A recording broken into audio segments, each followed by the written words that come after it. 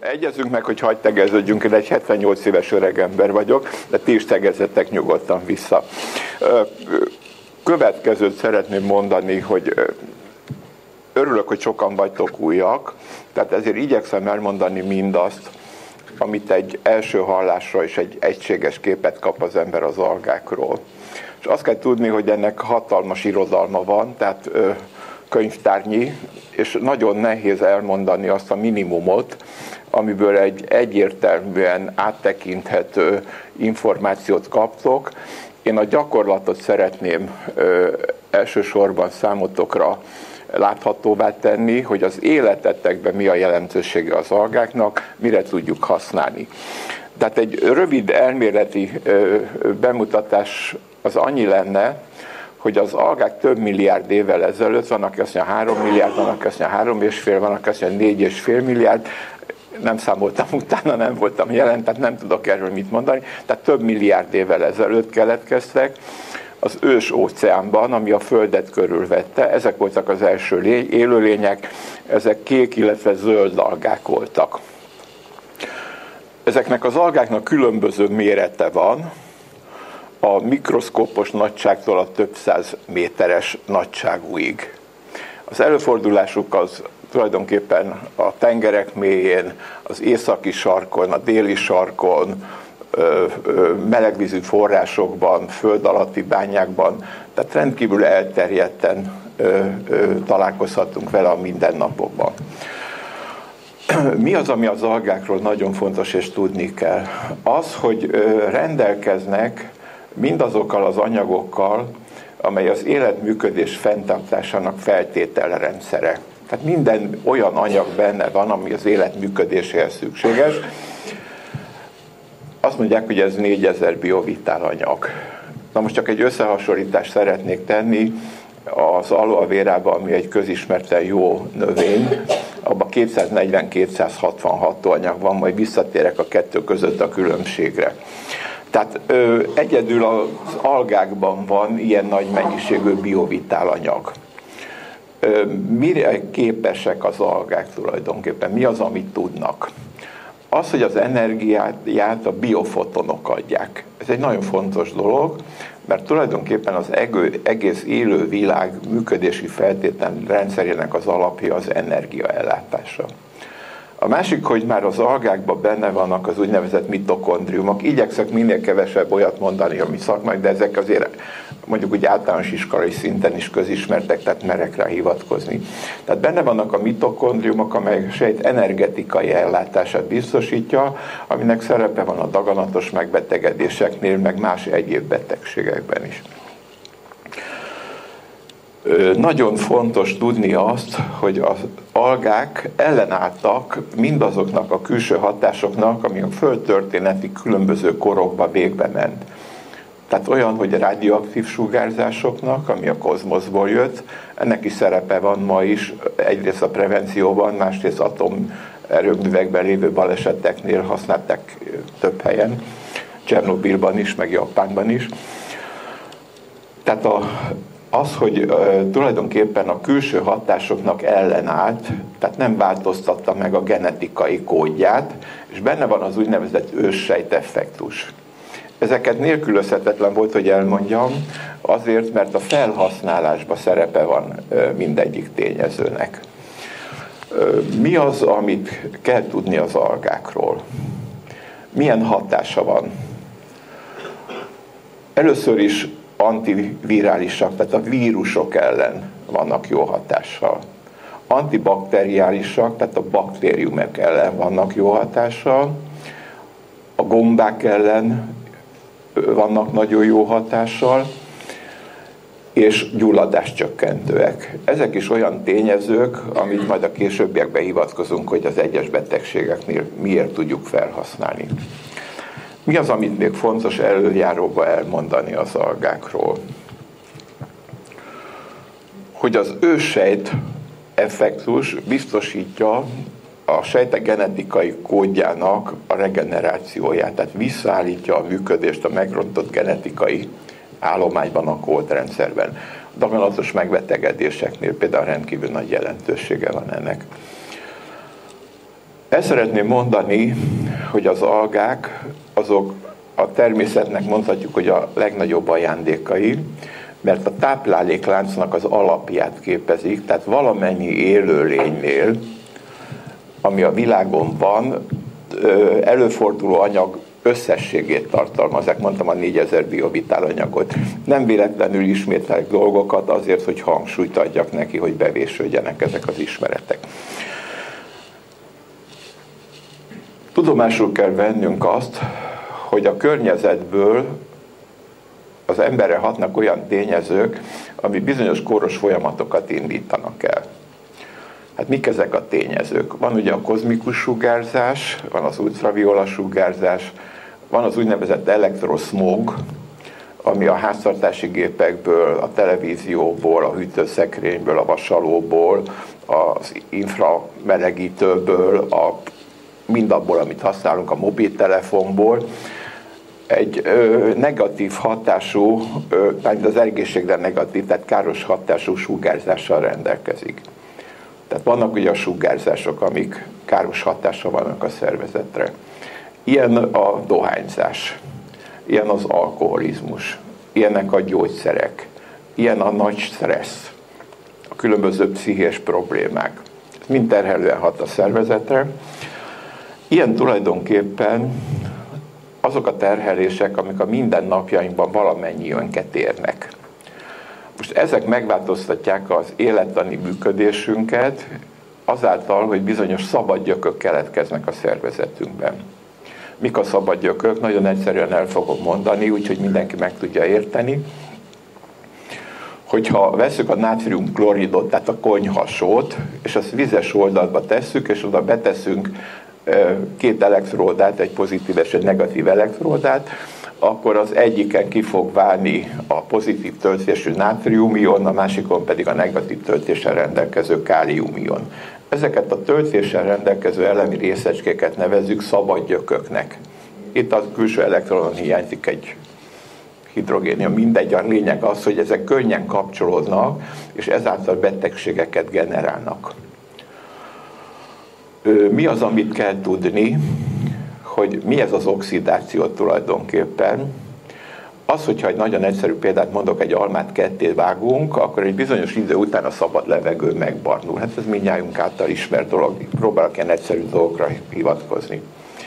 Na most az is ismert, hogy ha erre az almára mondjuk citromot csavarnak, citromlevet, akkor nem fog megbarnulni. Tehát a barnulást nevezük oxidációnak, azt, ami meggátolja azt az oxidációs hatást, az antioxidánsnak nevezzük, tehát az oxidációt meggátló tényezőnek. Ilyen például ugye a citrom esetében a citromsa, vagy acidum ascorbinicum, mindegy, hogy hogyan nevezzük. Ezeknek nagyon nagy szerepe van, mert a szabad gyökök olyan betegségeket hoznak létre, mint például a szíves érrendszeri megbetegedések, ugye ismert a szívinfarktus, az agyérzés, a különböző olyan tüdőembóliák és egyebek, amik a keringés terhelő problémák. Ezeket például ki lehet védeni, majd elmondom, hogy hogyan, milyen összefüggésben. Ilyenek a daganatos megbetegedések. Na most a halálokoknak 52%-a szíves érrendszeri megbetegedés, tehát sokunkat érint. Ugyanakkor a daganatos megbetegedések az 28% a vezető halálokok közül, az már 80% marad 20% az egyéb megbetegedésekre, tehát ezek igen nagy hatással vannak az életünkre, életminőségünkre, életkörülményeinkre.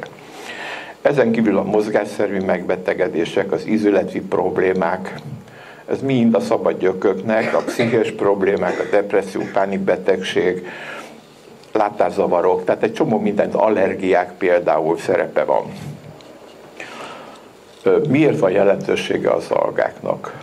Az algáknak azért van jelentősége, mert a szabad gyököket lekötik az úgynevezett antioxidáns hatással. Most a C-vitaminon kívül antioxidáns hatása van például a növényeknek a, és a gyümölcsöknek a festékanyagát adó karotinoknak és karotinoidoknak, és az E-vitaminnak.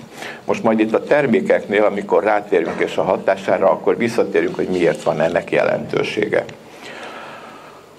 Tehát az algák a legtermészetesebb táplálékok. Tehát hangsúlyozni szeretném, hogy nem gyógyszer. Tehát nem gyógyszerként használjuk, és ezt nagyon kell tudatosítani. Nem csak azért, mert az engedélyek szerint ez táplálékkiegészítőnek van regisztrálva, hanem azért, mert minőségi különbség van a táplálék és a gyógyszer között. Mert milyen hatása van például a gyógyszernek? Hát először is van maga a hatása, és van az úgynevezett mellékhatása. Sajnos sokszor több a mellékhatás, mint a gyógyhatás. Ez nem cinizmus, hanem sajnos így van. Mi az, amit tudnunk kell ez ügyben? Tehát nem gyógyszer, ezt ismételten hangsúlyozom, nincsen mellékhatása, nincsen úgynevezett együtthatás, a szinergizmus, vagy nincsen antagonizmus, hogy kiüti annak a, a valaminek a hatását. Miért fontos? Mert például a daganatos megbetegedések esetén mondom, hogy nem gyógyszerként használjuk, hanem felhasználjuk azokat a biovitál anyagokat, amelyek képesek a szervezet normális működését visszaállítani, mert megkapja a működéshez szükséges feltételrendszert. Tehát ezt nagyon szeretném élesen hangzni, nem gyógyszerről beszélünk. Másik az, hogy nincsen túladagolás.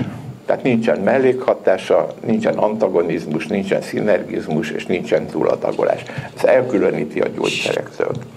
Na most miért van az, hogy ezt mondjuk, hogy ez a legtermészetesebb táplálék? Mert közismert az, aki egy kicsit az egészséggel foglalkozik, hogy szokták mondani, hogy például keringési megbetegedéseknél milyen pozitív szerepe van az omega-3-nak és az omega-6 zsírsavaknak. Valójában van, és akkor ajánlanak halolajokat, amik tényleg nagyon jók. Csak fölteszem a kérdést, és a halba hogyan kerül, az omega-3, meg az omega-6, úgyhogy, bocsánatot kérek, megeszi az algát. Mert az algában 20 annyi van, mint a halba. Na most tehát akkor, amikor mi a keringés javításra próbáljuk felhasználni, akkor mi nem a halolajból akarjuk megnyerni ezeket az anyagokat, hanem abból, amiben 20 annyi van, és ezek az algák. Szeretnék mondani az általánosságon kívül konkrétumokat, és utána szeretném felhasználni majd a konkrétumok után azt, hogy kérdezzetek, mert akkor ilyen interaktív beszélgetésre sokkal többet fogunk tudni meg, mint hogyha én itt megpróbálok bölcseskedni, mert ö, rengeteg dolog kimaradt, szóval nagyon nehéz összefoglalni, hogy meg, át tudjam adni azt a vázat, amiben értelmezhető és beépíthető a mindennapi életetekben. Ö, több tízezer algaféle van. Na most a cég, a Velstar, az néhány algaféleséget épített be abba a palettájába, amit a Velstar fogyasztói számára biztosít. Az egyik ilyen a Chlorella vulgaris nevű alga, majd utána megmondom, hogy itt mi, mi van, és akkor majd arról is beszélünk. Tehát egy Chlorella vulgaris nevű alga, aminek nagy szerepe van sejtek tisztításában és a szervezetnek az olyan terhelőanyagoktól való eltávolításában, amik megváltoztatják a szervezet pH-ját, amitől kialakulnak a szívérendszeri megbetegedések, daganatos megbetegedések, mozgásszervi megbetegedések. Tehát a chlorella vulgaris a szerkezetét tekintve hasonlít a hemoglobinra. Mi erre a jellemző? Az, hogy nagy felülete van, és a nagy felületen képes megkötni azokat az anyagokat, mérgező anyagokat, toxinokat, amik ezeket a betegségeket generálják. Ez az egyik hatása. A másik az, hogy van egy spirulina platensis nevű algaféleség itt a termékek között, ami a sejtek energetikai ellátását biztosítja, ami tartalmazza azt a 4000 biovitál anyagot, amiről már néhány alkalommal említést tettem. Van egy olyan algaféleség, aminek magyar neve is van, úgy hívják, hogy kőalga, vagy litottán nem calcareum. Ez Ez azért nagyon fontos, mert tartalmazza biológiailag aktív formában azokat az ásványi anyagokat, nyomelemeket, amelyek a szervezet működéséhez nélkülözhetetlenek. Például vegyük egy népbetegséget, az úgynevezett csontritkulást, az oszteoporózist. Mi az oszteoporózisnak a lényege tulajdonképpen? Az, hogy vagy nem visszük be a táplálékkal a megfelelő mennyiségű ásványi anyagot, nyomelemet, vagy beviszük a megfelelő mennyiséget, de nem szívódik föl. Vagy olyan, hogy beviszük a megfelelő mennyiséget, fölszívódik, de nem épül be. Na most ez a litotánem kalkárium vagy kőalga biológiailag aktív formában tartalmazza mindazokat az ásványi anyagokat, nyomelemeket, amely megvéd bennünket az oszteoporózistól, lehet megelőzésre használni. Szerencsés esetben képes feltölteni a hiányt, erre dokumentumok vannak, tehát vizsgálati eredmények, ezt nem jó szándékkal mondom, hanem ezek tények, ami tulajdonképpen semmilyen gyógyszer nem képes biztosítani a szervezet számára. És van egy negyedik algaféleség, az úgynevezett hematococcus tuvialis, azért hívják így, mert a vörös vértestek köz nagy nagyságrendűek, aminek van egy csodálatos hatóanyaga, az úgynevezett astaxantin, ami a világon a legerősebb természetes antioxidáns. Itt beszéltünk az antioxidánsokról megelőzően, tehát az, ami az oxidációt megelőzi meg, és a szabadgyököket leköti. Beszéltünk arról, hogy milyen antioxidánsok vannak, mondtuk, hogy a C-vitamin, ugye az acidum ascorbinicum, mondtam, a gyümölcsöknek, zöldségeknek a színező anyagát adó karotinok, karotinoidok, és a legerősebb ö, antioxidáns az E-vitamin. Na most, hogyha összehasonlítást végzünk az asztaszantin hatását tekintve, akkor vizsgálatok kimutatták, hogy 50-szer erősebb, mint a C-vitamin, 60-szor erősebb, mint a karotinok és a karotinoidok, és 550-szer erősebb, mint az E-vitamin. Tehát a világon létező legerősebb antioxidáns természetes formában, ami nélkülözhetetlen a szabadgyökök lekötésében, amely megelőzi azokat a fontos halált okozó megbetegedések, ami 52%-ban szív- és érrendszeri megbetegedés, 28%-ban daganatos megbetegedés, de ide rakhatjuk a mozgásszervi megbetegedéseket, ide rakhatjuk az allergiát, ide rakhatjuk a bőrbetegségeket, ide rakhatjuk az emésztőrendszer megbetegedést. Nagyon nagy problémák vannak a krónbetegség, meg a colitis ulcerosa, meg sok minden, meg a kandidiázis, ami a begyógyászati betegségek kb. 8%-a mögött van.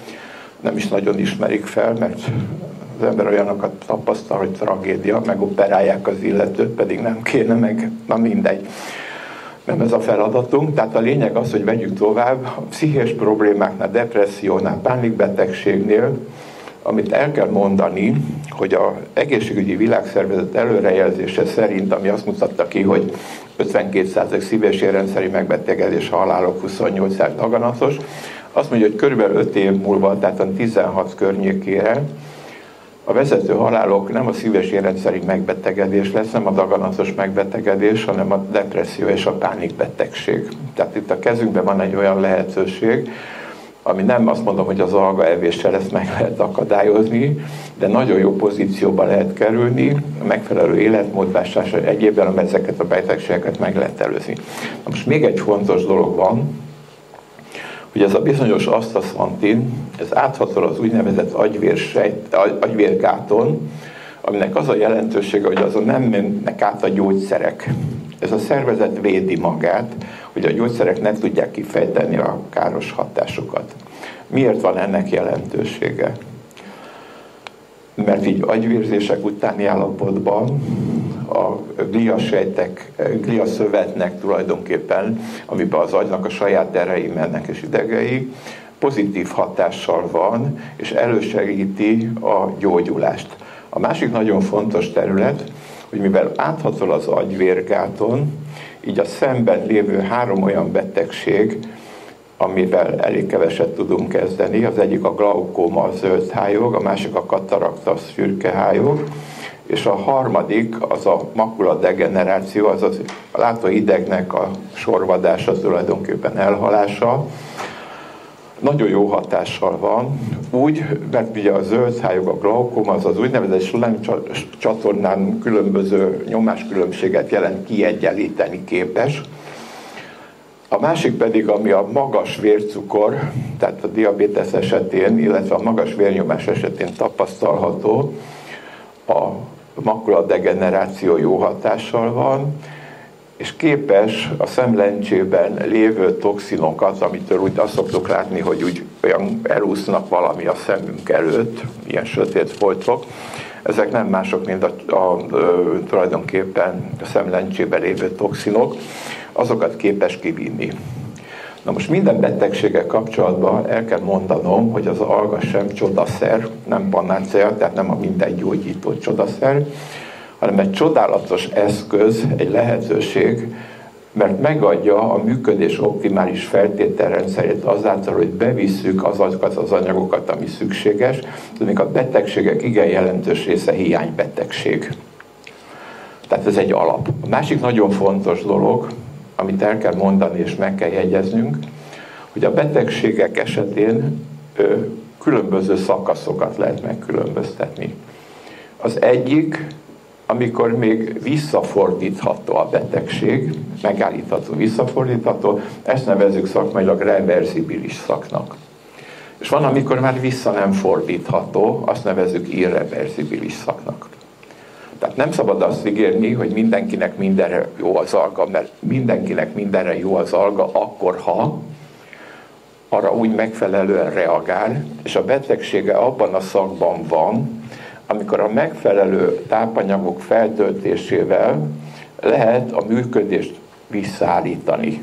Tehát ezt nagyon szeretném elmondani, hogy nem arról van szó, hogy egyél algát, aztán akkor örökké fogsz élni.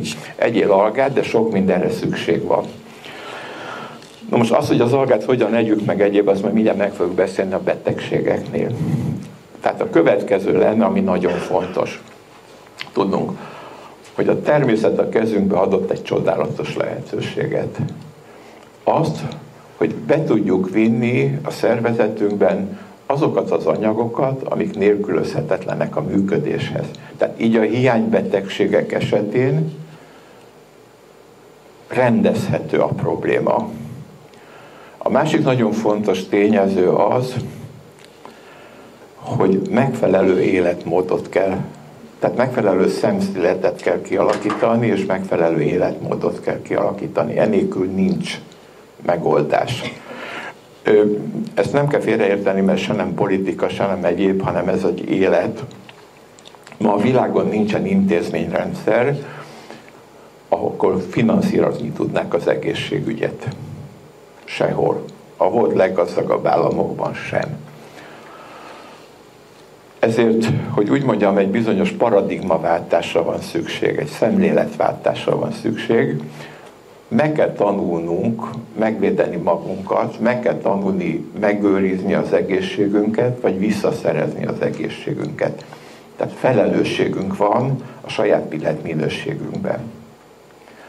De nem elég megtanulni, megismerni információ szinten, hanem a mindennapi életünkben meg is kell ezeket az elemeket valósítani, és ez az, amit úgy mondunk, hogy életmódváltás.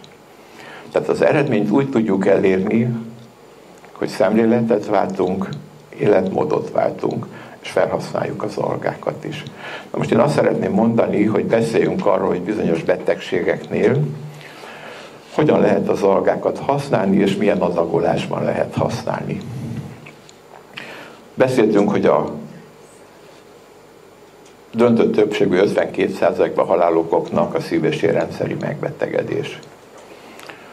Hát itt például tudjuk használni az algákat. Miért tudjuk használni az algákat? Mert amit én mondok, azok nagyon leegyszerűsített dolgok, elnézést kérek, mert itt nem lehet szakmailag összefoglalni, de a lényege benne van, tehát mindenki számára érthető módon. Általában a szíves érrendszeri megbetegedéseknél ugye a szívinfarktus és az a, a agyvérzés az, ami a halálok. Ezek hogyan jönnek létre? úgy, hogy az ereknek van egy belső, egy belhártyája tulajdonképpen, úgy hívják, hogy intima, nem tudom megkerülni, azok ilyen endotér sejtek, amik valamilyen okból adódóan gyulladásba jönnek. Na most ugye mi okozhat gyulladás sok minden, de szerepe lehet például a vírusoknak, szerepe lehet a baktériumoknak, szerepe lehet a gombáknak, szerepe lehet a toxinoknak, szerepe lehet mechanikus hatásoknak. Mi történik? Lerakódik az érfalába a koleszterin, a zsírok, a különböző anyagok, és ott egy ilyen trombust, egy ilyen vérrögöt hoznak létre most az, hogy hogyan, meg miből, hát az egy külön téma lenne, most elégedjünk meg ennyibe.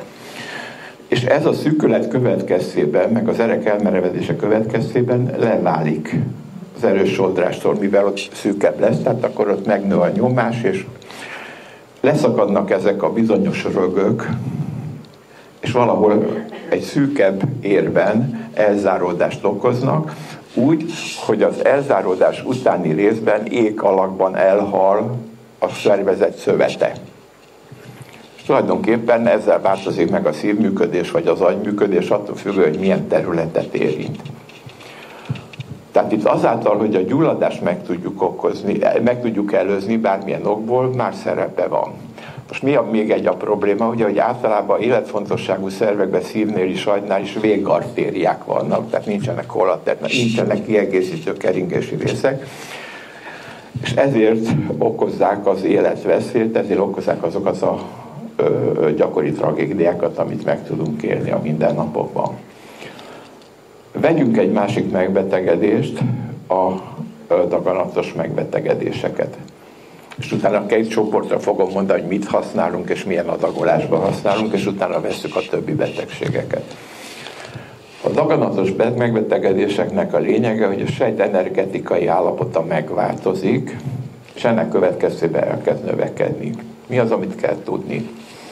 Hát az, hogy valamennyünk szervezetében naponta kb. 160 ezer daganatsejt keletkezik. Mégse halunk meg daganatba minnyáján. Miért? Mert a szervezetnek van egy védekező rendszer, az úgynevezett immunrendszer, ami ezeket a keletkezett daganatsejteket képes semlegesíteni. Abban az esetben, ha az immunrendszerünk jól működik, akkor tulajdonképpen vagyunk a legnagyobb biztonságban, akár a daganatos megbetegedések, vagy akár milyen más egyéb megbetegedések, vagy fertőző megbetegedések esetén is mi szükséges ehhez, hogy az immunrendszerünk jól működjön. Úgyhogy megkapja mindazokat az anyagokat, amely a működését lehetővé teszi. Nem tudom egyszerűen fogalmazni, ez a lényege. Tehát ha bevisszük azokat az anyagokat, ami az immunrendszer működését erősíti, akkor védve vagyunk. Nem ilyen egyszerű, mert kell az életmód is, kell a mozgás, kell a sok minden, a pihenés, meg egyebek. Tehát én nem azt mondtam, azt mondom mindig, hogy nem csupán az algák, hanem az algák és a szemléletváltás, életmódváltás együtt, és a gyakorlatban való megvalósítása. Na most gyakorlatilag az algák képesek az immunrendszert erősíteni. Miért van ennek jelentősége? Mert ha megtapadtak ezek a daganatsejtek, és kifejlődik a betegség, akkor van lehetőségünk arra, hogy az visszafejlődjön, tehát reverzibilis állapotban vagyunk, még ezt ki lehet védeni. Mi van akkor, vegyük a legrosszabb esetet, amikor azt mondják, hogy műtétileg nem lehet eltávolítani, kemoterápiát vagy sugárterápiát alkalmaznak, akkor el kell mondanom, hogy itt mindenkinek a döntési joga, hogy mivel él. Én elmondom az én magánvéleményemet, tudom, én az integrált terápia híve vagyok, azt mondom, hogy az akadémikus orvoslásnak a lehetőségeivel kell élni, de emellett fel kell használni mindazt, amit az emberiség az egyetemes kultúrtörténete folyamán megalkotott az egészséggel kapcsolatban, más eszmerendszerekre, gondolok az indiai ajurvány példája, a hagyományos kínai orvoslásra, vagy sok más egyéb energetikai gyógyászati rendszerre, amit luxus lenne, hogyha nem használnánk föl ahhoz, hogy visszaállítsuk az egészségünket. Tehát itt a daganatok és megbetegedések esetén azt mondom, hogy el kell fogadni, de ez mindenkinek a maga ügye, tehát nem akarok senkit semmire rábeszélni, az akadémikus orvoslás által ajánlott terápiás lehetőségeket, akár a műtét, akár a kemoterápia, akár a sugárterápia. Annak a tudatában mondom, hogy a kemoterápia és a sugárterápia nem válogat a daganatos és az egészséges sejtek között, mindegyikre roncsoló hatással van. Ezért nagyon szerencsés, hogyha akár a kemoterápia, akár a sugárterápia ideje alatt azzal egy időben alkalmazzuk az algákat. Majd mondom, hogy mit, meg milyen arányban, csak most elvileg szeretném mondani. Miért? Mert védi az egészséges sejteket, és a tapasztalat az, hogy a sugárkezelés kapó, vagy a kemoterápiában részesülő betegek sokkal jobban gyógyulnak, mint azok, akik nem élnek ezzel a lehetőséggel. Erre adatok vannak, tehát erre konkrét eseteket tudnánk mondani. Tehát az ajánlat az, hogy mindenki fogadja el az akadémikus orvoslás által ajánlott terápiás módszereket, és mellette alkalmazzuk ezt alternatívaként. Vannak, akik nem alternatívaként alkalmazzák, hanem önállóan, ez az ő döntésük, azt tiszteletbe kell tartani, de én nem propagálom senkinek, ez mindenkinek a saját döntése, így tisztességes. Ennek kapcsán el kell mondani, hogy az algákat minden terápiás eljárás esetén tudjuk alkalmazni. Mi azok a terápiás eljárások, ami mellett ajánljuk az algákat? Vannak az úgynevezett rizikófaktorok. Ilyen a túlsúly, ilyen a magas vérnyomás, ilyen az emelkedett vércukorszint és a magas koleszterin szint. Tehát mindig én azt mondom, hogy az az okos, ha elfogadjuk azokat a terápiás ajánlatokat, amit az akadémikus orvoslástól kapunk, éljen vele mindenki. Nem vagyok gyógyszermániás, én magam részéről nem tudom hány éve nem tettem gyógyszert. 78 éves vagyok, de lehet, hogy életemben annyit szedtem, mint más egy hét alatt. Tehát a következőt tudom mondani. Tehát, de én azt mondom, hogy el kell fogadni a szakorvosat által ajánlott gyógyszert, és mellette kell szedni az algát. Most konkrét példát fogok mondani. Van egy 85 éves úr, aki, vannak, akik személyesen ismerik, itt nem, hanem más tréningcentrumban, akinek 220, 240, 260 volt a szisztolés, tehát a vérnyomásnak a felső értéke, és az alsó értéke, a diasztolis értéke 140, 160, 180 volt. Horrorisztikus valami. Egy kicsit volt a túlsúlya, meg 25 volt a vércukorja. Hát aki ebbe jártas, az körbe tudja, hogy miről van szó. Nem elkapodott döntés, hogyha valaki ilyenkor megrendeli a koporsóját. Na most a következő volt, de mi nem vagyunk pessimisták. Én akkor találkoztam ezzel a nagyon szimpatikus úrral, és akkor azt mondtam neki, hogy nézd János, én nem ígérek neked semmit, de próbáljunk meg valamit, és ha sikerül, akkor győztes vagy. Nem akarom részletezni a dolgot. Minden ajánlást elfogadott, életmódot váltott, szedte a gyógyszereit, tehát minden gyógyszert szedett, amivel együtt voltak ezek az értékek, és a kezelés hatására 4,2 lett a vércukorja, és 120 per 80 lett a vérnyomása, és 85 éves korában megkapta a jogosítványt, tehát az orvosi papírt hozzá. Tehát ezt csak azért mondom szélsőséges esetként, hogy ilyet is el lehet érni, személyes tapasztalatról van szó. De mi a lényege? Az, hogy mindenkinek azt ajánljuk, hogy szedje az ajánlott gyógyszert, ne dobja el, hanem szedje. Tudnék, ennek az úrnak akkor is 25 volt a vérnyomás, amikor szedte a antidiabetikumokat, meg a vérnyomás csökkentőt, meg a egyebeket volt. Tehát nem kétséges, hogy mitől változtak az eredmények. Na most ez általában úgy van, hogy a jó szakorvos, jó kezelőorvos, az mindig elmondja a betegnek, hogy ha ennyi a vérnyomása, akkor ennyi vérnyomás csökkentőt szedjen. Hogyha ennyi a vércukorja, akkor ennyi szedjen, és ahogy csökken, annak arányában csökkenti a gyógyszerét. Tehát az én javaslatom az, hogyha valaki beteg, és szedi a gyógyszereket, és szedi az algát, akkor mérje, konzultáljon a kezelő orvosával, és bízunk abban, hogy az egy jó szakember, akkor azt mondja, hogy ne tessék szedni akkor, vagy csökkenteni tetszik a megfelelő gyógyszereket. És amikor az ember eljut odáig, hogy a vérnyomása normális értéken van, vagy a vércukorja normális értéken van, vagy a testsúlya, akkor nem fogja szedni a gyógyszerét, és eszi tovább az algát prevencióként. Tehát ezek elvek itt eléggé széteső módon, tehát itt próbáltam a gyakorlatra helyezni a hangsúlyt, nem az elméletre. Na most mi az, amit például tudjuk használni az algákat? Például, ugye mondtam, a oszteoporozis, a csontritkás nagyon fontos.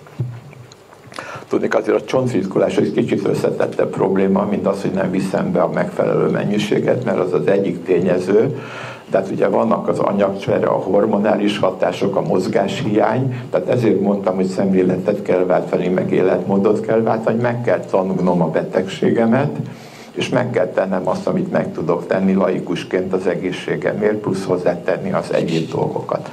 Benne a gyógyszerek és benne az algák, egyre kevesebb gyógyszerrel. Tehát tudni különbséget kell tenni a gyógyszerek és a gyógyáruk között.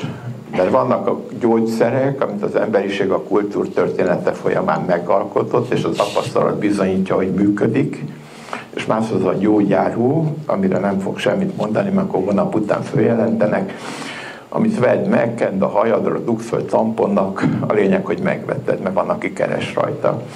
Szóval ezeket el kell különíteni. Mi az, amit ö, ö, fontosnak tartok még? hogy elmondjuk az alkalmazásokat. Jó? Tehát itt vannak a termékek, azt mondja, hogy például van olyan, hogy a 100%-os algapor, ez a, ez, a, ez a ilyen nagy fekete. Jó? Ez általában két generációs termékű van a cégnek. Az egyik a 100%-os algapor, a szolár és a lunár, nem tudom, hogy ez a szolár, és itt van a, ez is szolár, és ez a lunár, a szolár az általában nappalra reggel szoktuk használni, ugye mert a szolár az a nap, volt az a hogy jó szólemió, és van a lunár, az pedig a este. De rajta van, hogy az egyik a sötétebb, a másik a világosabb, tehát így is meg lehet jelezni. És voltak a energiaitalok, a kinetó és a génió, tehát itt úgy látom, hogy minden csak kinetó. Higgyetek el, hogy van olyan, hogy génió. A kinetó az a mozgási energiát adja, tehát jó sportolóknak, olyanoknak, akik lusták és nem mozognak, vagy olyanok, akik sokat dolgoznak, vagy olyanok, akik keveset alszanak, mint én is. Tehát kávé helyett is nagyon jól lehet használni, tehát ez mozgási energiát ad. Kiknek nem adjuk? Magas félnyomásos betegeknek és cukorbetegeknek. Sem a kinetot, sem a géniót nem adjuk. És van a génió, ami szellemi energiát ad, tehát olyanok, akik intenzív szellemi tevékenységet folytatnak, vagy vizsgára készülnek diákok, vagy, vagy olyan szellemi feladataik vannak, azoknak ajánljuk. Tehát hozzá ez az első generációs termék, és van az úgynevezett második generációs termék, az immun. Na most mi az, amit az immunról kell tudni a többivel szemben? Az, hogy benne vannak az immunban azok a hatóanyagok, tehát az a három algaféleség, amiről beszéltünk megelőzően, és benne van a negyedik, a hematococcus pluvialis is, aminek a hatóanyaga az astaxantin.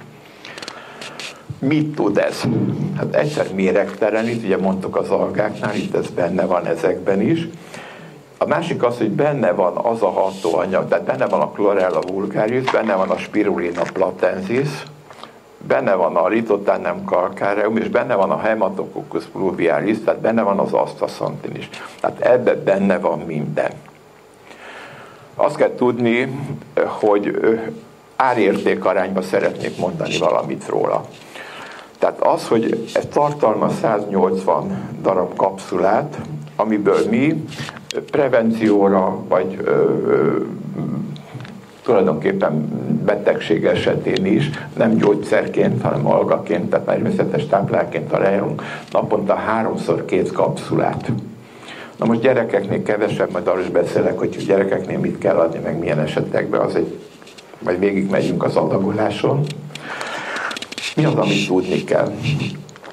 Az, hogy ö, háromszor kettőt ö, veszünk be a kapszulából,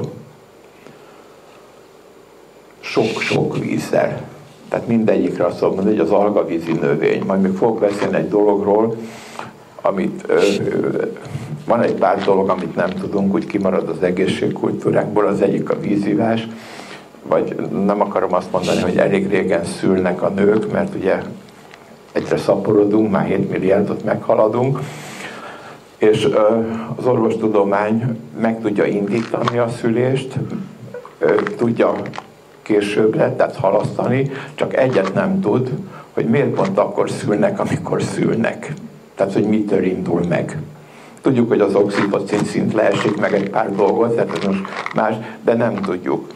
Vagy nem akarom azt mondani, hogy volt, aki abban a korosztályban van, nem fiatal, középkorú, hogy volt az ultraszeptír, szuperszeptír, meg egyéb a domak csinált különböző ilyen termékek, aminek ezer tonnáit gyártották, és sokáig nem tudták, hogy mi a hatásmechanizmusa. Ugyanez vonatkozott az antibiotikumokra. Tehát azért mondom, hogy azért furcsa dolog a tudomány. Na most ebbe benne van tulajdonképpen az asztaszant, tehát a hematococcus bulbialis által az asztaszantin, ami a világ legerősebb antioxidánsa. Jó, tehát ez azért kell tudni, ez a második generációs, a legelterjedtebb ez a második generációkat, amit ajánlunk, és amiből a legtöbb fogy. Na most nézzük meg a többit. Én mindig azt szoktam mondani, hogy ha valaki megengedheti magának, mert mi sajnos minden pénzbe kerül, tudjuk, ingyen ebéd nincs a világon, vagy ha van, az nagyon drága. Ö, ö, mi az, amit kell tudni erről? Tehát ez méregtelenít, ez a sejteket táplálja, és a sejteket védi. Tehát mindazt a funkciót adja, ami az életünk, az egészségünk megtartására nélkülözhetetlen. Mi az, ami nagyon fontos? A legkülönbözőbb, akár energetikai gyógyászat, akár az akadémikus orvos azt mondja, hogy a méregtelenítés. Na most tulajdonképpen a százszázalékos alkaporral csodálatosan tudunk méregteleníteni. Tehát ha valakinek van lehetősége, hogy több terméket tud használni, én mindig azt szoktam mondani, hogy nem tudom, hogy mennyi pénzed van, tehát nem kérdés, de elmondom, hogy mi az, amit minimálisan javaslok arra a betegségre, és mi az, amit optimálisnak tartok, tehát ami előnyösebb. Na most elmondanám, hogy például keringési megbetegedések esetén mi az, amit javasolni tudok, illetve milyen adagolásban. Jó? Tehát sok-sok víz kell.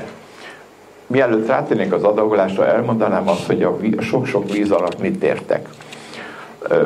Tudom, a rendelőbe elő szokott fordulni, hogy megkérdezik, hogy mennyi vizet viszik, eleget viszik? Igen, eleget. Mennyi az? Hát azt mondja, hogy egy fél litert is megiszok egy nap.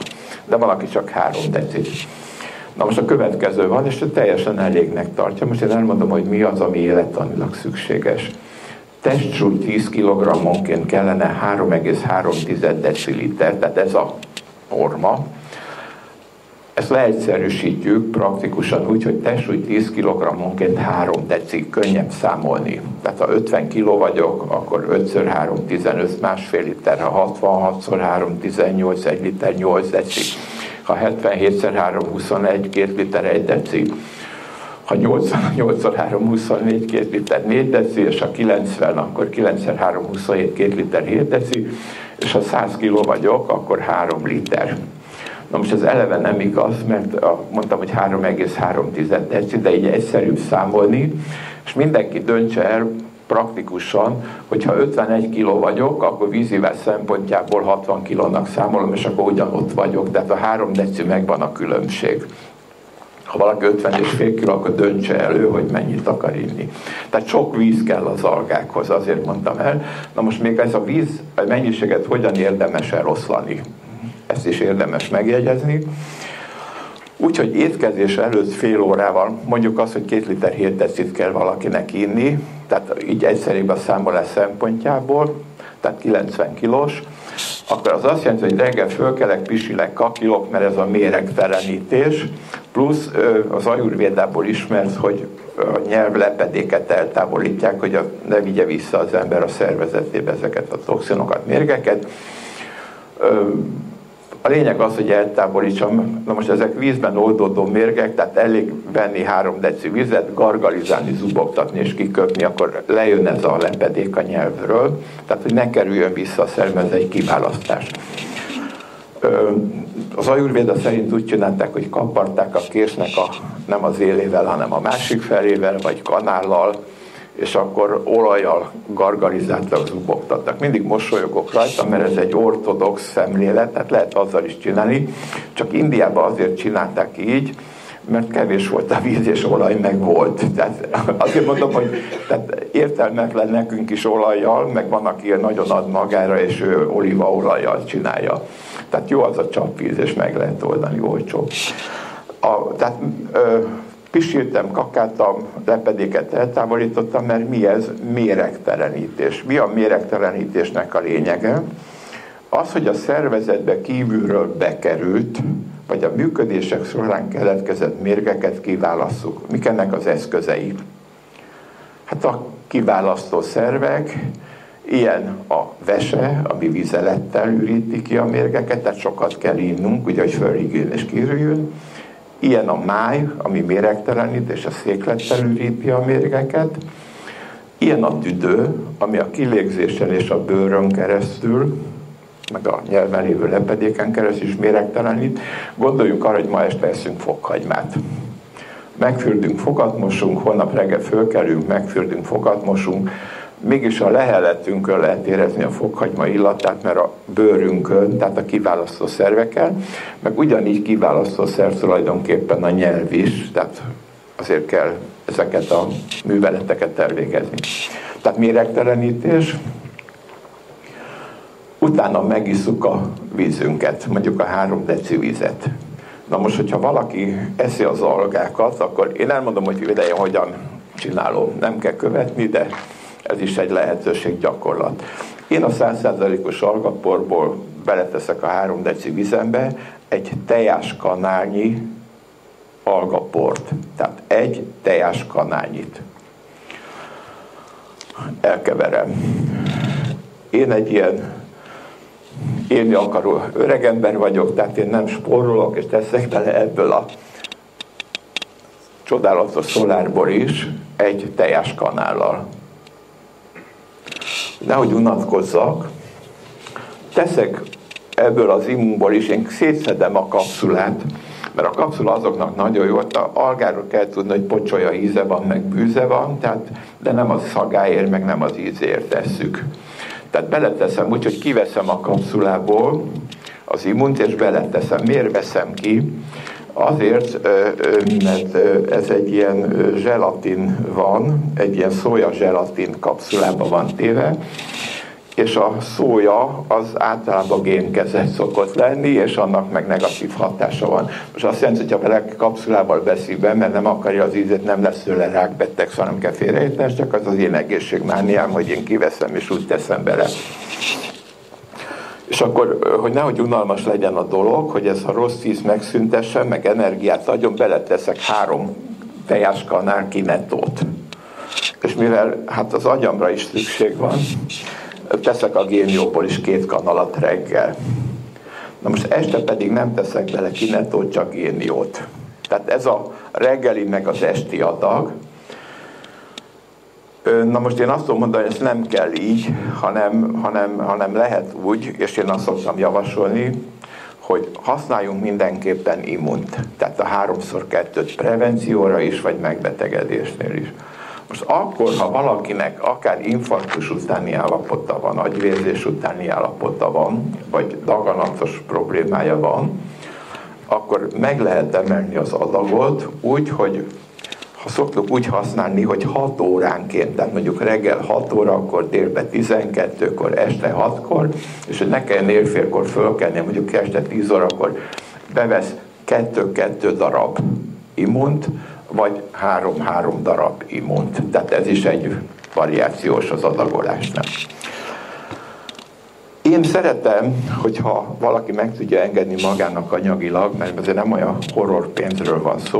Tehát itt az árnál azt kell tudni, árértékarányt fogok mondani, hogy egy kapszula 60 forintnyi pénzben van, tehát azt jelenti, hogy a háromszor kettő ajánlott az 360 forint a napi adag. Na most a legrosszabb cigarettának azt hiszem egy fél csomagja, ez a 360 forint, nem dohányzom, úgyhogy nem tudom az cigarettárakat. Tehát megfizethető. A másik, amit tudok mondani, hogy ebből a bizonyos százszázalékos algaporból szoktam javasolni, ha valaki meg tudja engedni magának, akkor nagyon jó a méregtelenítés miatt, meg hogy bevigye azokat az anyagokat, ami a szervezetbe szükséges, hogyha reggel meg este, tehát egy teás kanányit beletesz a neki megfelelő vízbe. Na most ott vagyunk a vízívásnál, hogy étkezés előtt fél órával megiszom azt a meghatározott vízmennyiséget, beletéve azt az algát, amit beleteszek. És utána egy fél óra múlva étkezem. Tehát mondjuk reggelizek. Evés közben nem iszunk. Miért nem iszunk? Azért, mert a az emésztő nedveket, sósavat, pepszint, egyebeket felhígítja a bevitt vize mennyisége, és ezáltal csökken az emésztés hatásfoka, tehát maradnak a toxinok, mert nem bomlik le teljesen a dolog.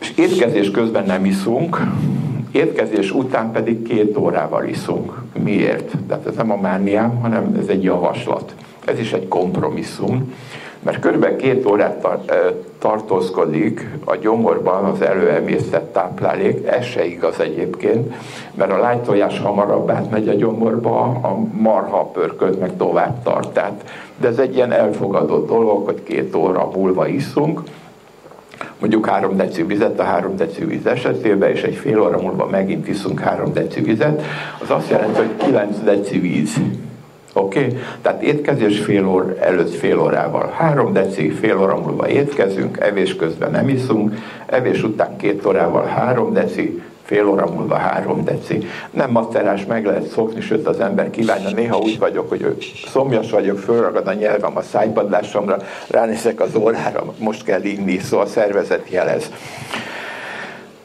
A másik dolog az, hogy ugyanez van ebéd előtt, és ugyanez van vacsora előtt, és jó, hogyha a vacsoránk az a lefekvés előtt négy órával van. Tehát ez egy javaslom, akkor jól alszunk, meg pihentek vagyunk. Ez mondjuk a cukorbetegségnél nem így van, mert akkor utána, amikor az emberek szükséges, akkor kell, hogy magához vegye a táplálékot.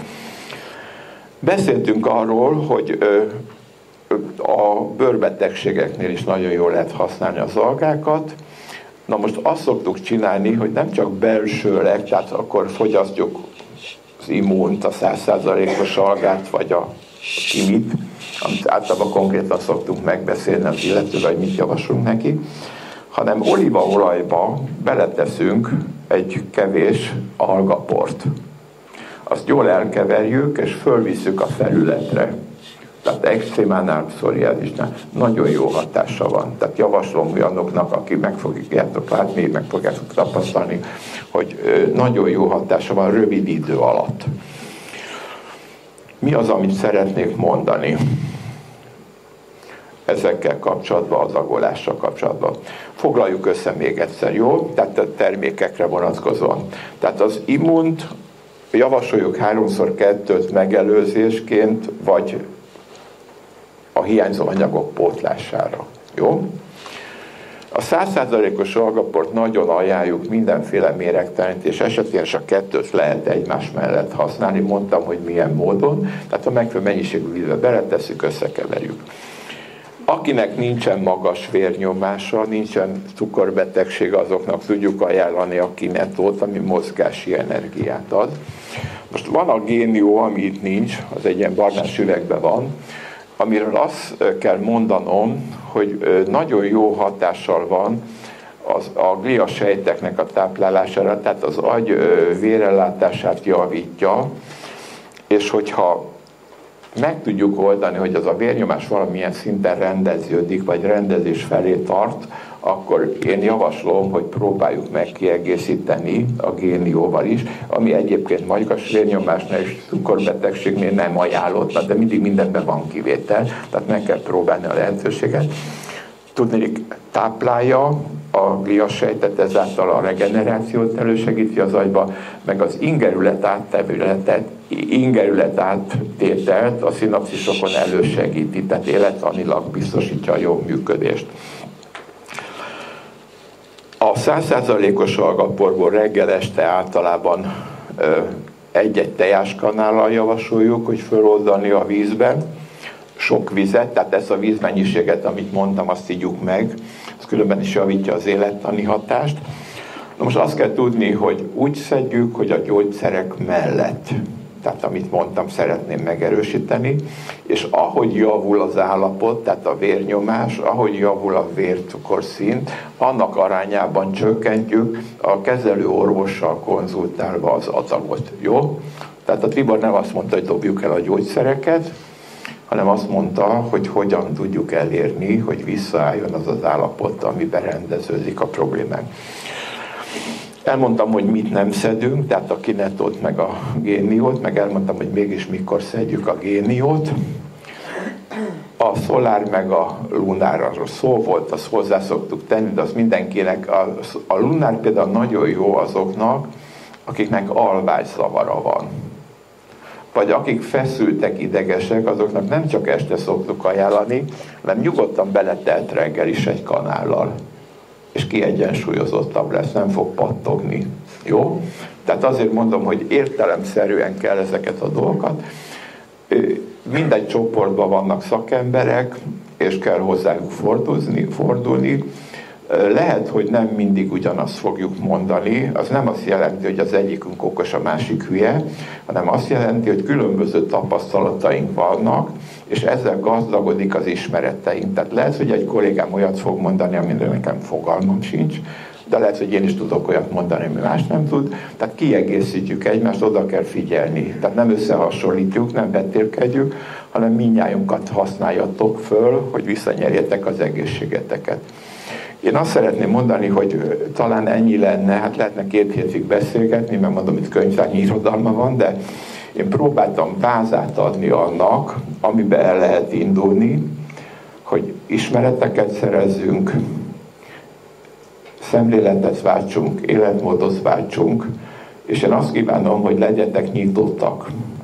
És akinek próbálja, akinek szüksége van rá, az éljen ezzel a lehetőséggel.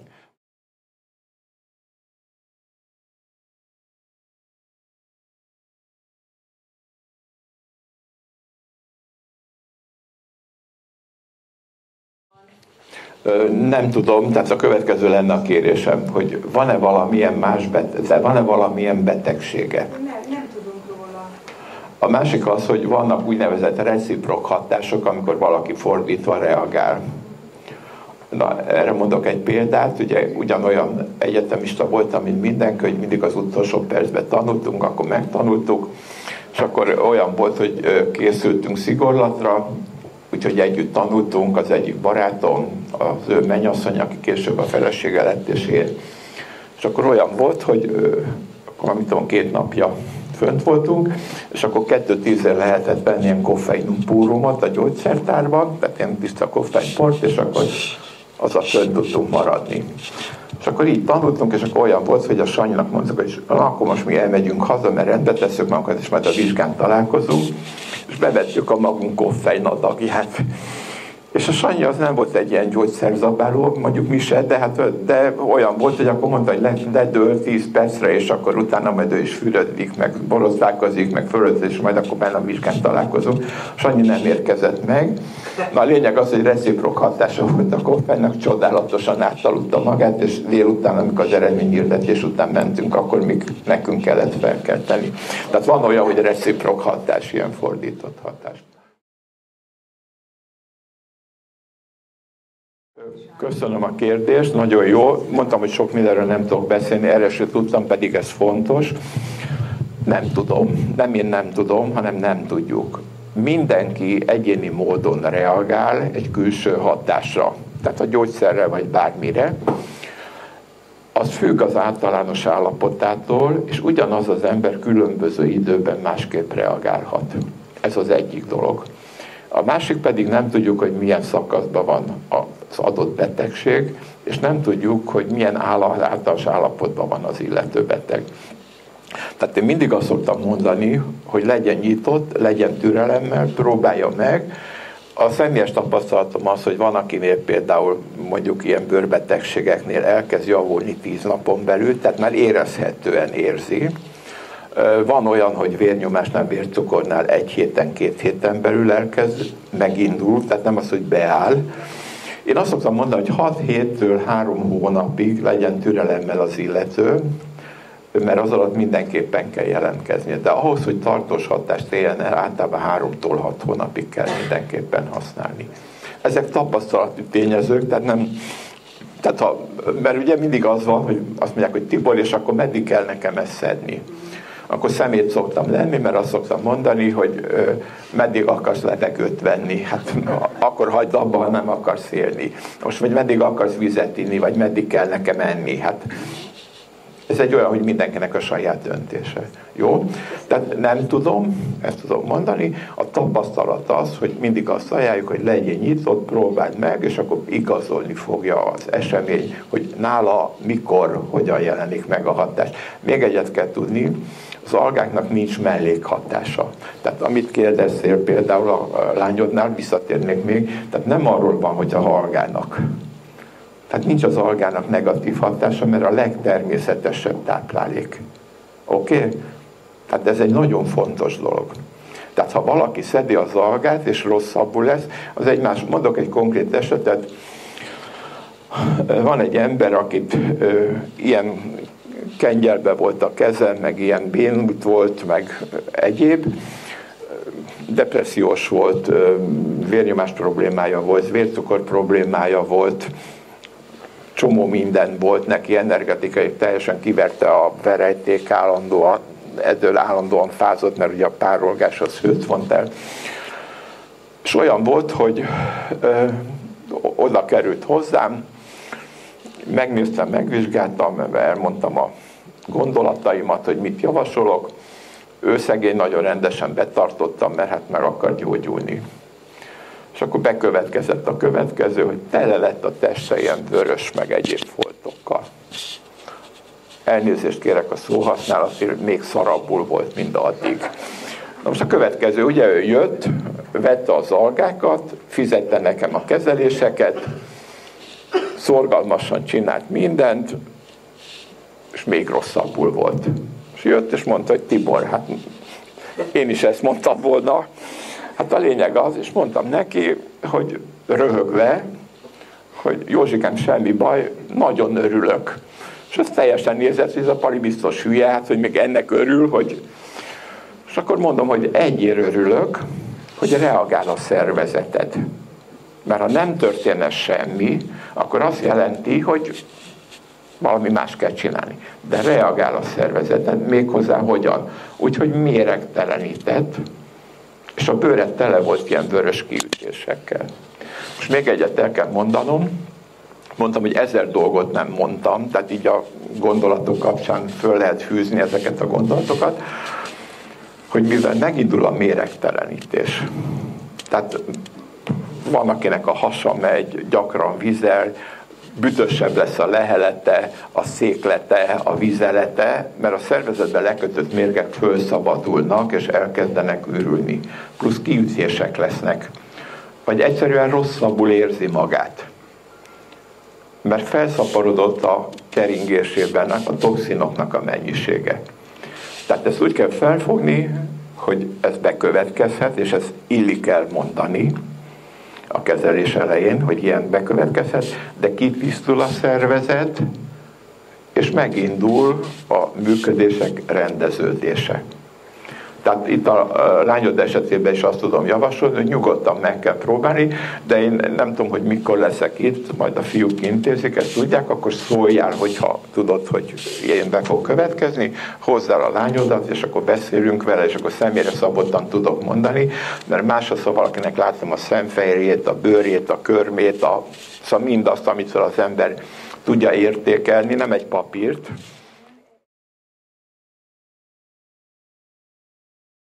Ez semmire nem gyógyszer. Tehát a következőt szeretném. Tehát ez nem olyan, hogy most hülyeséget fogok mondani, elnézést, hogy valaki rühös, és akkor rükkenőcsöt kell adni. Érted? Mert az egy konkrét dolog, mert ott azt a rühatkát ki kell írtani. Na most az daganatos megbetegedéseknek sok formája van. Az elhelyezkedésről, meg hogy az milyen sejtes elváltozás, hogyan működik. Ezzel nem foglalkozunk, mert az a patológusoknak a feladata, aki ott nézi a szövettani metszeteket, és megmondja, hogy milyen csillagsejtes a kermi, meg egyebek. Tehát ezzel ne foglalkozunk, mert nem ennek a témája. A következő a szervezet általános állapotát javítják az algák, mert megadják a működéséhez szükséges anyagokat. Tehát ez nem konkrétan a erre vagy a arra vagy a amarra hat, hanem a szervezet általános állapotát javítja, méregtelenít, leköti a szabadgyököket, szervezet pH-ját lugosítja, mert a, a, a, a savas közegbe fejlődnek a daganatok. Tehát ezek olyanok, amire azért nem kívánok beszélni, mert hosszan lehetne egy-egy témáról.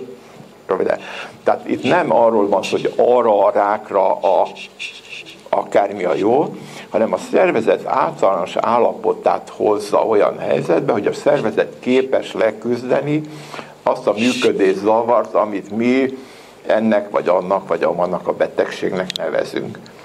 Tehát itt működés változásról van szó. És én azért mondtam a biofotonokat, azért mondtam a mitokondriumokat, azért mondtam az őssejteffektust. Ez például nagyon érdekes, mert volt egy olyan betegem, sajnos az már nem él, egy kedves, nagyon kedves emberek voltak, egy pár, ilyen 40 körül volt a hölgy, és volt egy emlődaganata, és aztán átértek, voltak ugye a nyirokba, aztán a tüdőbe, aztán a csontba, aztán a májba, tehát különböző metasztázisok, és akkor olyan nehéz helyzetben voltam, mert oda jöttek hozzám, hogy azt mondták, hogy Tibor, van lehetőségünk arra, hogy elmenjünk Kievbe, és ott ősejtátültetést csinálnak 7 millió forintért. Mit mondasz? Na most ilyenkor mondjan az ember valamit, ugye? Azt mondtam, hogy az ősejtek nagyon csodálatos hatással vannak, elmentek, megcsinálták, mégis az életet elveszettük. Miért? Mert már abba a szakba volt, amikor nem hatott. Na most ki az, aki a felelősséget vállalja? Én nem tudom megmondani, hogy ő már abban a szakaszban van-e van, hogy ő nem hat, vagy nem hat. Tehát itt mit lehetett tenni? Megpróbáltak 7 millió forintért egy lehetőséget. 19-re lapot húz az ember. Na de ez az élet, ez egy oroszról lett szó, ezt azért tudomásuk kell venni mindenbe.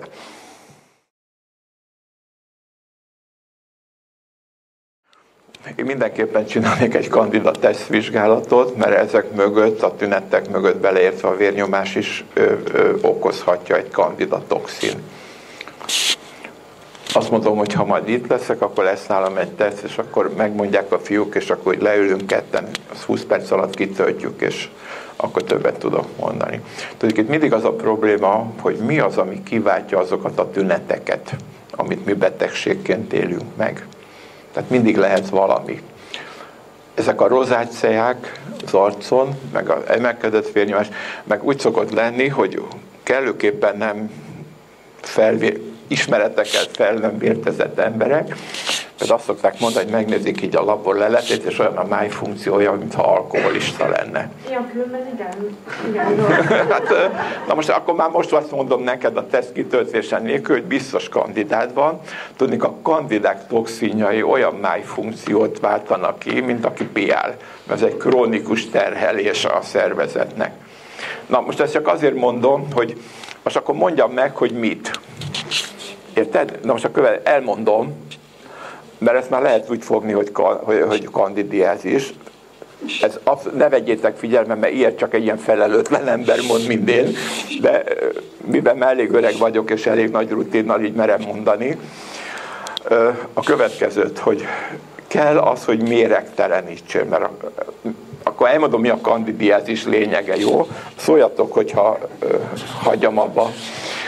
Következő tehát a kandidiázisnak az a lényege, hogy amikor az anyamébe vagyunk, akkor ott jól érezzük magunkat, mert sötét van, mert meleg van, halljuk a mama szívverését, innen van minden kultúrában, hogy amikor ugye a ritmust halljuk, akkor jól érezzük magunkat, és, és megkapunk minden táplálékot, ami szükséges. A, és akkor jön a, elmegy a magzatvíz, akkor jönnek a tolófájások, kitágul a mészáj, a hüvely, a medence, és az úgynevezett szülőcsatornán átpréselődik az akkor még magzat és a leendő szülött. Ugye? És akkor látjuk az újszülötteknél, hogy van ez az afta, ez a szájpenész, ez a fehér, ami tulajdonképpen candida albigans, tehát a fehér candida, az albigans, ugye az innen van. És mert normál körülmények között a szervezetben a kandida két helyen van. Nőknél a hüvelybe, férfiaknál a húgycsőbe, egymásnak ugye szokták adogatni, Innen van az, hogy a kandidák, a nőgyógyászatra járnak ugye kezelésre, és akkor a folyás a kandida, akkor megkapják a gyógyszert 6 hét alatt elmúlik, 6 hét alatt visszakapja a párjától, és akkor ez így megy a folyamat, állandóan mennek a nőgyógyászhoz. Na, a lényeg a következő, hogy tehát akkor ott a bekerül a szájpenész a szájba, a hüvelyből, és mind a két nemben normál körülmények között a vastagbélben van. Oké? Okay? Tehát hüvelyben nőknél, férfiaknál húgycsőben, nőknél, férfiaknál a vastagbélben normálisan. Tudjuk, van egy olyan, hogy a testsúlyunk 10%-a nem mi vagyunk, tehát nem a Szabó Tibor, hanem a velem együtt élő baktériumok, gombák, amőbák, egysejtűek, protozonok, meg egyebek. Ez mindnyájunkra vonatkozik, nem csak rám. Következő, és akkor most hagy számokat fogok mondani. Ha mondjuk 100 kg lennék, csak 85 vagyok, tehát ha 100 kg lennék, akkor azt jelenti, hogy 10 kg nem Szabó Tibor van, hanem ez a koktél. És a következő, ez nincs baj, mert ez a normális dolog, hogy így élünk. Mikor van a probléma? Tehát a kandidiázis az nem egy fertőző betegség, az nem egy nemi betegség, amit elkapnak, hanem az egy normál életműködés, és mikor lesz az ember beteg? Akkor, amikor ez az egy, ja, még nem mondtam az adatokat, ez is fiákker szám, tehát hasból mondom, csak arányában, hogy ha mondjuk 15%-a ennek a 10 kilónak, feltételezett 10 kilónak, 15% az másfél kiló gomba van bennem, akkor minden hurrá, egészséges vagyok, nincsen probléma. De hogyha valamilyen okból adódóan, és ennek megvannak az okai, hogy mik azok, felszaporodik az a kandida mennyisége, mert olyan táplálékhoz jut egyebek, hogy, ő felszaporodik, és lesz 4 kiló, tehát a 15%-ból 40% lesz, akkor annak vannak anyagcsere termékei, ugye a toxinok, a mérgek, meg ezek szétesnek, és az megemelik a vérben ezek a méregeknek a szintét, az erek átjárhatóvá járnak, és akkor különböző szervek, szervrendszerekben megváltozik a működés. Na most így okoznak keringési problémát például, ugye? Említettük, hogy ott az érnek az intimája belhártyáján különböző gyulladások lesznek, lerakodnak, elmeszesedik, tehát különböző folyamatok, nem menjünk bele. És amikor ezek a szervezet működését megváltoztatják, akkor a jellegzetes tünetek lesznek. Na most egyet tudok mondani, hogy még a szemlencsébe is kimutattak kandidát például. Tehát nem csak a toxin megy át, hanem maga a kandida is.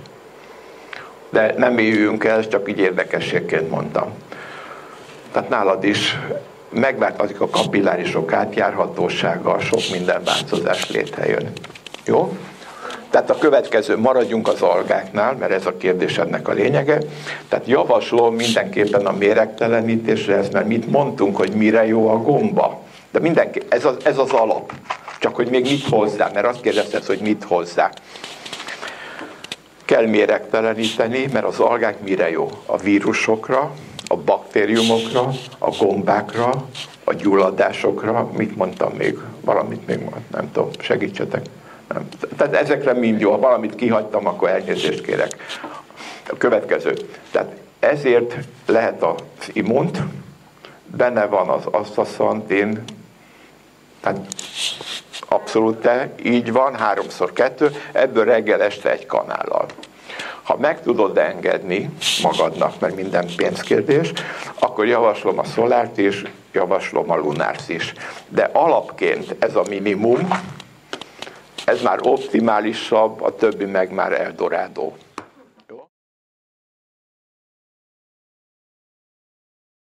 Én elmondom a gondolatomat. Tehát azt szoktam mondani, hogy a gyógyszereket ne hagyjuk el. Tudnék, mindennek van jogi következménye. Tehát ezt tudomásul kell venni, egy olyan világban élünk. Azon kívül van az embernek egy felelősségérzete. Jó esetben. Mert én azt mondom, hogy ennek a szakmának a végzéséhez kell egy szakmai tudás, ami nélkülözhetetlen, kell egy emberi tisztesség, meg kell egy szakmai tisztesség. Na most az a szerencsés, hogyha ez a három együtt van, vannak esetek, amikor ez nem így működik. Tényként le kell szögezni. Tehát a gyógyszerekre mindig azt mondom, hogy szedje a gyógyszereket, szedje az algákat, és utána majd úgy csökkenti a gyógyszereket, ahogy javul az állapota, bevonva a kezelőorvost. Ha a kezelőorvos erre negatívan reagál, akkor ki kell hagyni, mert nem a papnak meg az orvosnak kell hinni, hanem a tényeknek. Jó? Tehát ebből maradjunk benne. A, a várja pillanatban nem fejeztem be, mert a következő van az volt, hogy különböző táplálékkiegészítőket szerz, vitaminokat, ásványanyagokat. Na most elmondanám azt, hogy nem a Belsztár melletti elkötelezettségem mondatja, hanem a tények hogy nincsen jobb termék, mert ez az a táplálék, amiben minden benne van, és mondtam, hogy nem táplálék kiegészítő. Nem akarom azt mondani, a táplálék kiegészítőknél van két csoport, az egyik a szintetikus, a másik a természetes. Na most azt tudom mondani, hogy például az aloe vera egy nagyon jó termék, de abban 240-260 hatóanyag van, ebben 4000. Most akkor kérdezem azt, hogy szükséges például azokat a termékeket szedni, vagy szükséges ö, olyan vitaminokat, ásványi anyagokat, nyomelemeket szedni, ami nem természetes. Hát gondolok arra, hogy például a litotánem kalkáriumban, a kőagában benne van minden ásványi anyag nyomelem, ami csak létezik, ami a szervezet működéshez szükséges, biológiailag aktív formába. Tehát ami felszívódik, meg beépül én úgy érzem, hogy nem kell túl biztosítani magam. Szóval, hogy mondjam, hogyha elmegyek mondjuk a nagyállomástól a központig villamosat tételezzük fel, hogy van, most nincs, akkor nem rendelek egy taxit, hogy jöjjön a villamos mellett, hogyha a villamos lerohad, akkor mégis át tudjak szállni. Elnézést, hülye humorom van, szóval, de csak ezt azért mondom, hogy vannak az életben szituációk, amikor túl biztosítok, ami nem kell. Hát Várj, de, várjál, elmondom neked, az orvos ember. Most, most ebből, de elmondom, szóval a következő. Az orvos is ember, sőt, pont ugyanolyan ember, mint a társadalom egészen, minden szerepel benne, ilyen is, olyan is, nem szóltam semmit, ugye? Na, a másik dolog az, hogy